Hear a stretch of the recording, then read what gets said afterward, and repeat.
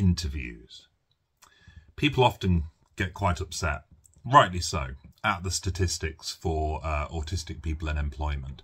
Um, huge rates of being underemployed or being unemployed, but seeking, you know, desperately wanting work. Um, lots of autistic people, I think, end up self-employed, um, like myself, I suppose, um, as, as a way to avoid the various horrors and difficulties and stresses of the workplace. But interviews, that very opening part, that, that gateway into the world of employment is a huge, huge problem for autistic people, in my opinion, because they, I mean, they're barely even designed to help neurotypical people. You know, I suppose they're designed as a test. They're designed very, I mean, you know, we, we talk about gatekeeping. I mean, interviews are the epitome of gatekeeping and to some extent for good reason. You know the whole poor purpose of an interview is to make sure that the person is able to to manage the stresses of the job and are they going to fit into the team and all that kind of thing. So i can understand you know there's a level of gatekeeping that's necessary but my god that that that high level of gatekeeping that oh, keeps out a lot of neurotypical people is usually often keeping out basically all autistic people. And the crucial thing is for no good reason the gatekeeping that takes place in an interview is often totally irrelevant to the actual job that the interview is for. And that's where the problem really lies. So let's look at some of the details. Well, first of all, you've got that initial issue of an interview, which is the um, the unknowability of it, the, the, the the walking into the unknown that it represents. Um, if it if if the organisation or company isn't willing to let you do it from home, you know, over Zoom or something, then you've got that whole thing of going to a strange place, maybe even a strange town or city, um, going to a building you've never been to before, um, negotiating around, you know, how to get into that building and how to get to meet the people and meeting these people for the first time. Now, this is all stuff that's, you know, documentedly difficult for autistic people, uh, far more so than I think non-autistic people. Um, yeah, there are things that we can do, and I'm sure we do. You know, we use Google Maps. You know, we look at uh, Street View and that kind of thing, and we do our best, I suppose, to to to mitigate that stress. But a lot of the time, that stress isn't mitigated by the by the organisation. You know, they don't put much work into making things better.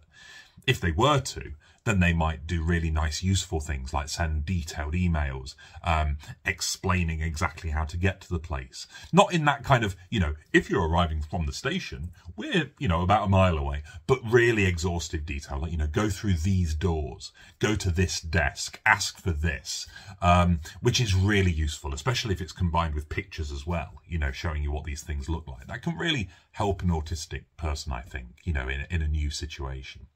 But we often don't get that. But even if we do get into the situation of the interview, even if we manage to get there and we, we, we manage to get into the right place and the right building and the right, at the right time, those first impressions are often a bit of a killer. Because, of course, they're neuronormative, neurotypical first impressions that seem to matter. And the reason that autistic people might trip up here is, well, I mean, I'll just take some hypothetical examples. Um, we might not make eye contact especially because it's an unusual situation. We don't know these people and we're stressed. So even if we're, even if we're good at masking, even if we, we force ourselves to make the eye contact, usually in this key situation, that might be beyond us. You know, we might not be able to because it's so stressful. It's an interview. Our you know, ability to live independently might depend on this very circumstance. So the stress is enormous. So even if we usually can make eye contact and mask, we might struggle to.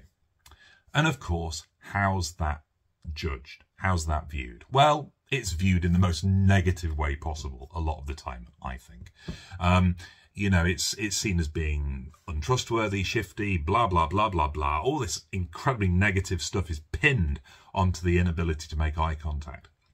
So immediately, an autistic person is at a disadvantage because you know the people interviewing the people doing that that that role might, just might not know about autism they might not know or they might not care you know they, they just might not care but even if there's even if that is overcome there's often an expectation of physicality, isn't there? Which is so weird.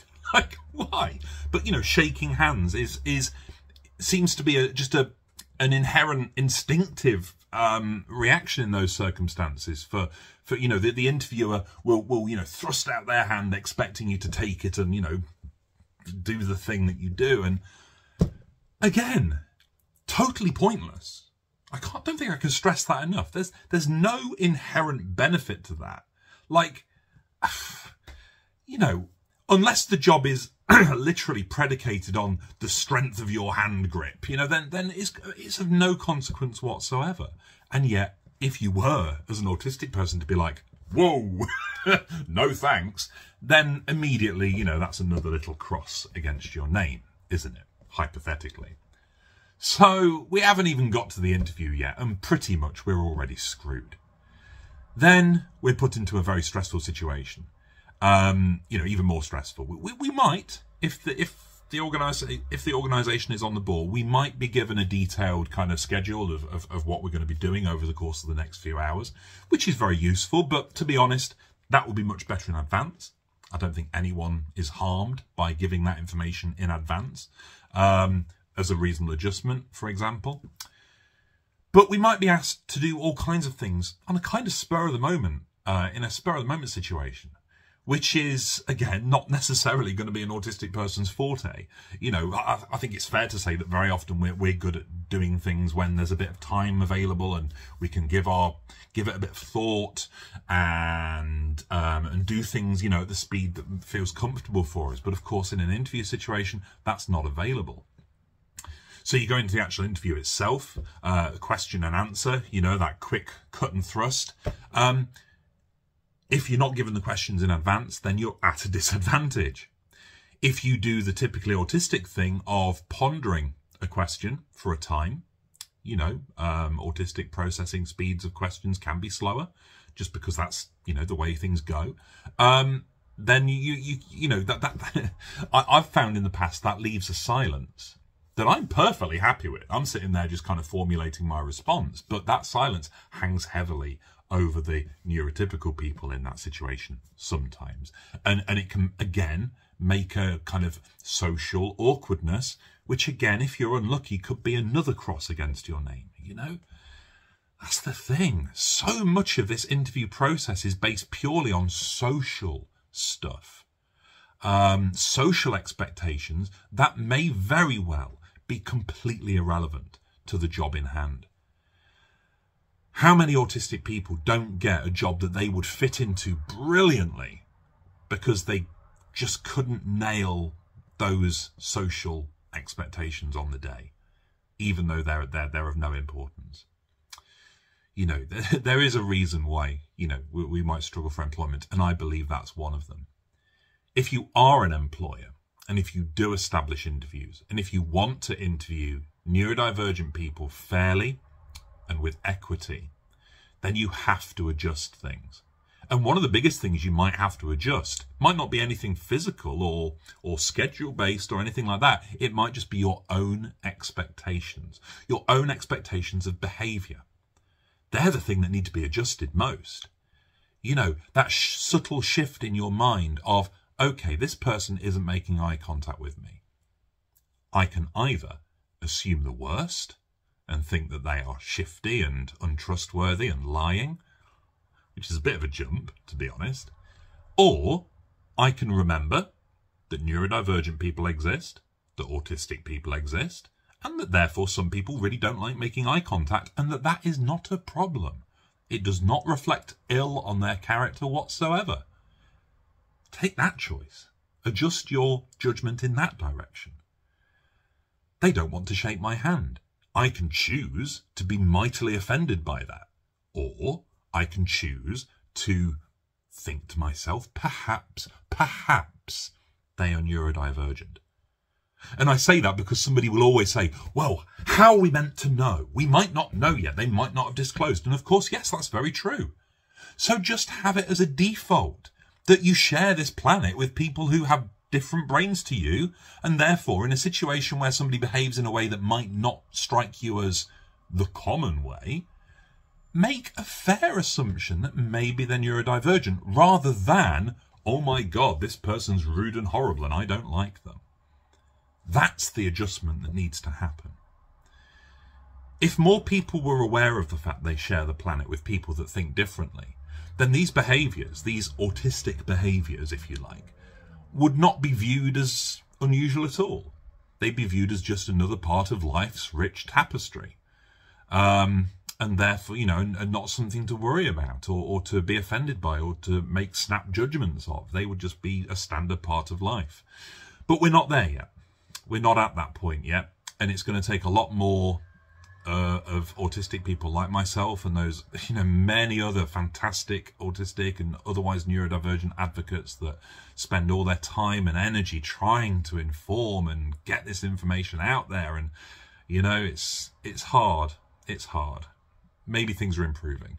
Um, we will, we will see. Um, but yeah, if you are an interviewer, then that adjustment of expectation is probably even more potent than, than anything else you can adjust. Having said that, you still want to be offering home interviews, you know, do it from home, do it over Zoom, unless you really can't for some good reason.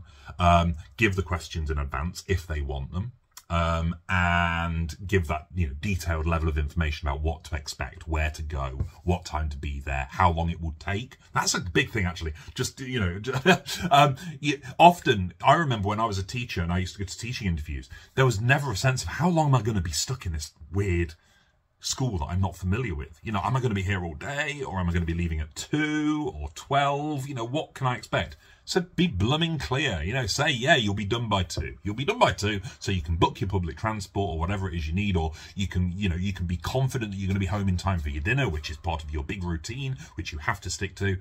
That makes a big difference too, doesn't it? So many things, so many things. Anyway, there we go. Interviews. Um, a horrible thing that could be so much better with just a little bit of work on the part of those doing the interviewing.